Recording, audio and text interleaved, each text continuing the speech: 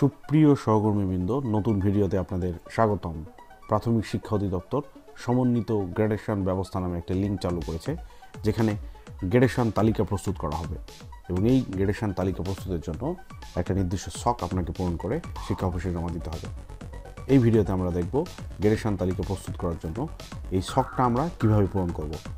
চলুন আমরা ভিডিওটি শুরু করি, তবে তার আগে বলে নিই, আপনারা যারা আমার চ্যানেলে নতুন এসছেন, তারা please hit the subscribe button আর যারা ইতিমধ্যে সাবস্ক্রাইব করেছেন thank you very much so প্রথমে আমরা আসি যে এই রাজস্ব হলে আপনার চাকরিটা যদি রাজস্ব হয়, তাহলে কি কি তথ্য দিতে হবে?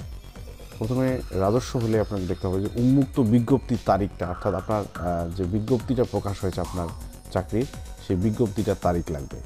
শিক্ষকের পিন নাম্বার লাগবে। নিয়োগ আদেশের তারিখ লাগবে, রাজস্ব পদে যোগদানের তারিখ লাগবে, চাকরি স্থায়ীকরণের তারিখ ইএফটিতে প্রদত্ত মোবাইল নম্বর, সর্বোচ্চ শিক্ষাগত যোগ্যতা, সর্বোচ্চ শিক্ষাগত যোগ্যতা অর্জনের তারিখ সিই নেট অথবা ডিপিএড প্রশিক্ষণ গ্রহণের সাল, বহিরাগত শিক্ষক কিনা, অর্থাৎ আপনি অন্য উপজেলা বা জেলা থেকে এসছেন কিনা, প্রধান শিক্ষকের ক্ষেত্রে চলতি দায়িত্ব প্রাপ্ত কিনা, এবং মেধাক্রম। তো মেধাক্রমটা আসলে দুই হাজার আঠারো সালের আগে মেধাক্রম ছিল না। তো মেধাক্রম মেধাক্রমটা দুই সালের আগে যাদের আছে, তাদের আসলে মেধাক্রমের প্রয়োজন নেই।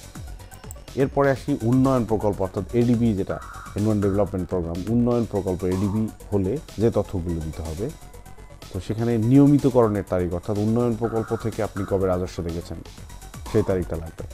এরপর আছে শিক্ষকের পিন নম্বর, এটা লাগবে। রাজস্ব পদে যোগদানের তারিখ এটা লাগবে। এখানে একটা জিনিস মাথায় নেওয়া উচিত যে নিয়মিতকরণের তারিখ এবং রাজস্ব পদে যোগদানের তারিখ কিন্তু একই রকম হবে, এই উন্নয়ন প্রকল্প হলে। অর্থাৎ যে সময় থেকে নিয়মিত হয়ে গেছে, সে সময় থেকেই আসলে রাজস্ব পদে যোগদান হয়ে গেছে।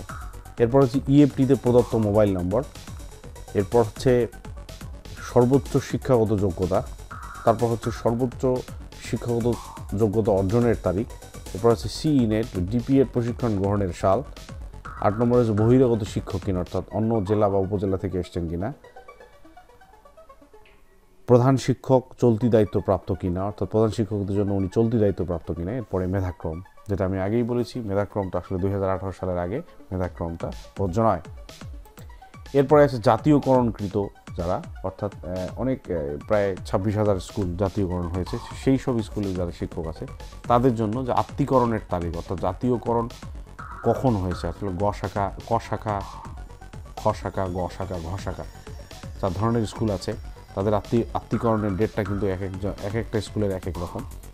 তো এই আত্মীকরণের তারিখটা শিক্ষকের থাকতে হবে। শিক্ষকের পিন নম্বর, রাজস্ব পদে যোগদানের তারিখ, চাকরি স্থায়ীকরণের তারিখ ইএফটিতে প্রদত্ত মোবাইল নম্বর, সর্বোচ্চ শিক্ষাগত যোগ্যতা সর্বোচ্চ শিক্ষাগত যোগ্যতা অর্জনের তারিখ সিই ডিপিএফ প্রশিক্ষণ গ্রহণের সাল বহিরাগত শিক্ষক কিনা, যেটা অন্য উপজেলা বা জেলা থেকে এসছে, প্রধান শিক্ষক চলতি দায়িত্বপ্রাপ্ত কিনা এবং মেধাক্রম। সবগুলোই কিন্তু আমরা আমরা যদি দেখি, আমরা যদি একটু পিছনের দিকে দেখি, দেখেন সবগুলোই কিন্তু এই রাজস্ব হলে যা উন্নয়ন প্রকল্প এবং জাতীয়করণকৃত, সবই কিন্তু একই রকম, কিছু কিছু চেঞ্জ আছে তারিখ। আমরা এখন কয়েকটা জিনিস আমাদের তুলে ধরবো, যেগুলো পক্ষ সবার মধ্যে আছে। তো প্রথমে যেটা আছে যে, এই যে উন্মুক্ত বিজ্ঞপ্তির তারিখ, এই উন্মুক্ত বিজ্ঞপ্তির তারিখ আসলে সেই অনেক বছর আগের, দশ বছর, বিশ বছর, পঁচিশ বছর আগের, একুশ বছর, সতেরো বছর, আঠারো বছর আগের ওই বিজ্ঞপ্তিটা নিয়োগ বিজ্ঞপ্তিটা আমি কোথায় পাবো? নিয়োগ বিজ্ঞপ্তিটা হয়তো অনেকেই পেতে পারেন, থাকতে পারে, আবার বেশিরভাগের ক্ষেত্রে নাও থাকতে পারে। তো সেই ক্ষেত্রে একটা বিষয় আপনাদের দেখাই যে দেখেন এখানে এই যে উন্মুক্ত বিজ্ঞপ্তি তারিখটা আপনারা পাবেন।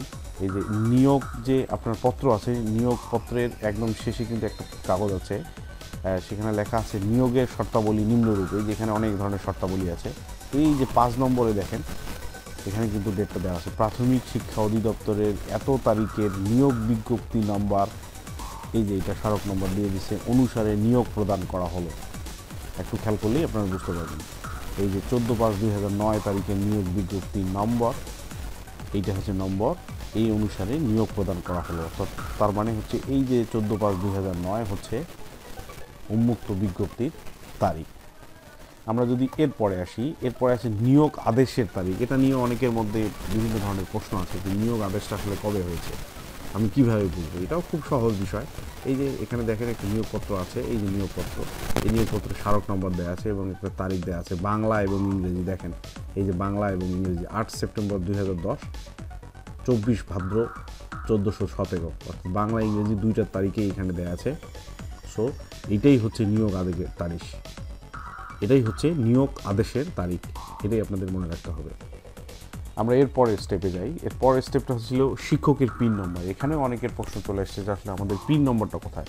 হ্যাঁ অবশ্যই আমাদের একটা পিন নম্বর আছে। এখানে দেখেন প্রাথমিক শিক্ষা অধিদপ্তর। আমাদের যে ই প্রাইমারি স্কুল সিস্টেম আছে, এই ই প্রাইমারি স্কুল সিস্টেমে আপনি যদি শিক্ষকের তথ্য প্রিন্ট করতে চান, তো ওই প্রিন্ট করলেই কিন্তু এই যে শিক্ষক পিন নম্বর একটা পেয়ে যাবেন। এই যে দেখেন এখানে একটা শিক্ষক পিন নম্বর আছে, যার প্রথম ডিজিটগুলো হচ্ছে আপনার স্কুলের কোড নম্বর তার সাথে পরের ডিজিটগুলো হচ্ছে আপনার পিন নম্বর অর্থাৎ পুরোটা মিলে হচ্ছে একটা শিক্ষক পিন নাম্বার তো নিশ্চয়ই আপনার শিক্ষক পিন নম্বরটা বুঝতে পেরেছেন। আমরা এর পরের স্টেপে যাই, চাকরি স্থায়ীকরণের তারিখ এই চাকরি স্থায়ী কবে হয়েছে আমি কীভাবে বলব অবশ্যই আপনার চাকরি যখন স্থায়ী হয়েছে, সেই স্থায়ীকরণের একটা অফিস আদেশ দিয়েছে জেলা প্রাথমিক শিক্ষা অফিসার মহোদয়। তো সেখানে দেখেন, এই যে এখানে এটাও কিন্তু একটা চাকরি স্থায়ীকরণের অফিস আদেশ। এই অফিস আদেশের একটা তারিখ দেখেন, এই যে একদম লাস্ট প্রথমের দিকে ডান সাইডে দেওয়া আছে, চব্বিশ এক দু হাজার একুশ।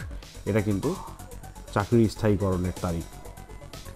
সো এখান থেকে আপনি চাকরি স্থায়ীকরণের তারিখটা পাবেন। এর পরের যে স্টেপ সেটা হচ্ছে সর্বোচ্চ শিক্ষাগত যোগ্যতা অর্জনের তারিখ। এখানে অনেকে অনেক ধরনের প্রশ্ন করেন যে আমরা যে বছরে আমি পরীক্ষা দিয়েছি, সেই বছরেই আসলে আমার অর্জনের তারিখ অথবা যে বছর পরীক্ষা দেওয়ার কথা, সেটাই আমার অর্জনের তারিখ। আসলে সেটা না। সর্বোচ্চ শিক্ষাগত অর্জনের তারিখটাই সেটাই। যেটাতে আপনার যেদিন আপনার রেজাল্ট হয়েছে, আপনি পরীক্ষা দিয়েছেন, পরীক্ষা তো সবাই দেয়। অনেকে কিন্তু পরীক্ষায় ফেল করে। তো নিশ্চয়ই তখন আপনার শিক্ষাগত যোগ্যতা অর্জনের তারিখ সেটা হয় না। তাই সেই ক্ষেত্রে এখানে দেখেন, এই যে আপনার সার্টিফিকেটে সার্টিফিকেটের নিচের দিকে কারও আবার ডান সাইডে আছে, আমার এই সার্টিফিকেটের নিচের দিকে আছে। দেখেন result published on four ten two thousand ten four ten two thousand ten এটাই হচ্ছে আপনার সর্বোচ্চ শিক্ষাগত অর্জন, যোগ্যতা অর্জনের তারিখ। সো এটা আপনি এভাবে লিখবেন। এরপরে আমি যেটা আসি যে, একবারেই আমি একটা গ্লান্স আপনাদের দেখাই যে, গ্রেডেশন তালিকার জন্য যে সকল তথ্য লাগবে। তো এখানে প্রথমে আপনাকে লিখতে হবে শিক্ষকের নাম, আপনার নাম লিখবেন। শিক্ষকের পিন নাম্বার আমি যেভাবে বললাম পিন নাম্বারটা খুঁজে বের করে আপনি লিখবেন। আপনার বিদ্যালয়ের নাম লিখবেন, পদবি লিখবেন, নিয়োগের ধরন হ্যাঁ। নিয়োগের ধরনটা কি? এটা অনেকে প্রশ্ন করেন। নিয়োগের ধরনটা হচ্ছে আপনি রাজস্ব কিনা? আপনি উন্নয়ন প্রকল্প থেকে এসেছেন কিনা? অথবা আপনি জাতীয়করণকৃত শিক্ষক কিনা? যেটা হবে, আপনি সেটাই লিখবেন। এটাই হচ্ছে আপনার নিয়োগের ধরন। এরপর উন্মুক্ত বিজ্ঞপ্তির তারিখ আপনার নিয়োগপত্রের পিছনের পৃষ্ঠা থেকে আপনি খুঁজে বের করবেন। নিয়োগ আদেশের তারিখ, অর্থাৎ আপনার নিয়োগপত্রের প্রথম পেজের ডান সাইডে আপনার নিয়োগপত্রের নিয়োগ আদেশের তারিখ আছে। নিয়মিতকরণের তারিখ, অর্থাৎ জাতীয়করণকৃত শিক্ষকদের নিয়মিতকরণের একটা অফিস আদেশ আছে, আপনি সেখান থেকে পাবেন। আত্মীকরণের তারিখ তারিখ সরি এই নিয়মিতকরণের তারিখটা হচ্ছে উন্নয়ন প্রকল্পের যারা আছে, তাদের এরকম একটা অফিস আদেশ আছে, সেখান থেকে আপনারা পাবেন। আত্মীকরণের তারিখ, অর্থাৎ জাতীয়করণকৃত শিক্ষক যারা আছে, তাদেরও এরকম অফিস আদেশ আছে, আপনি সেখান থেকে পাবেন।